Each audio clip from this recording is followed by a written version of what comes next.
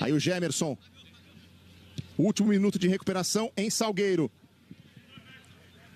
Matheus Vital. Tenta avançar, foge da falta, ainda ele. Grande lance do Vital, olha o golaço!